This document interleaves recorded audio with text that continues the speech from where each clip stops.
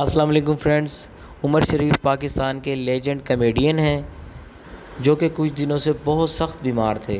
बताया जाता है कि उनको दिल का कोई आर्जा है, जिसका इलाज सिर्फ़ अमेरिका में मुमकिन था।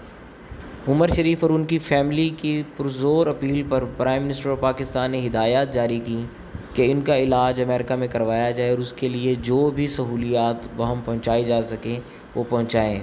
इस सिलसिला में अमेरिका के वीज़ा के इजरा से लेकर एयर एंबुलेंस जो कि जर्मनी से आनी है, उस तक पाकिस्तान की गवर्नमेंट ने बहुत ज़्यादा हेल्प की।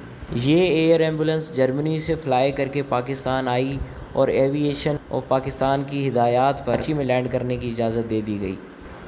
इस एंबुलेंस ने कराची में लैंड किया और मंडे को उन्होंने उमर शरीफ को लेकर अमेरिका पहुँचना था।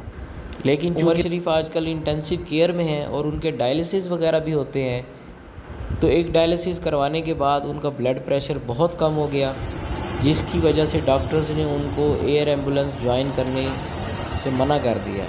जरीन ख़ान जो कि उमर शरीफ की थर्ड वाइफ हैं उन्होंने प्राइम मिनिस्टर ऑफ़ पाकिस्तान से अपील की कि वो एयर एंबुलेंस को रोके रखें। उस वक्त तक के लिए जब तक कि उमर शरीफ की हालत संभल नहीं जाती।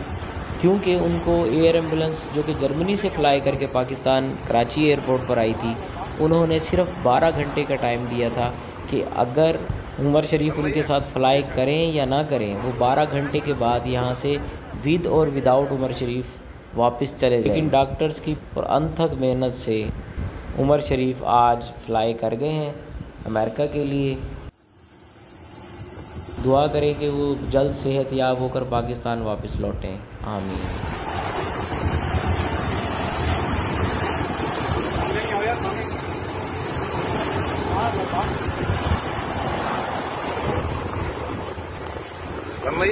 ठीक है?